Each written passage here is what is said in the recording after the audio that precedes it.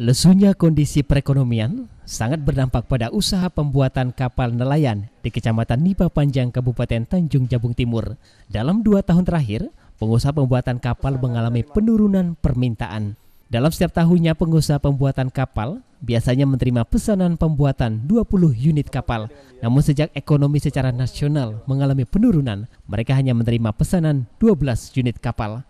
Selain karena dipengaruhi lesunya perekonomian, Larangan penggunaan pukat harimau untuk menangkap ikan juga cukup berpengaruh terhadap order pembuatan kapal, sebab banyak nelayan yang beralih profesi. Uh, untuk pemasaran but untuk tahun ini agak-agak lesu karena pengaruh ekonomi dunia kan.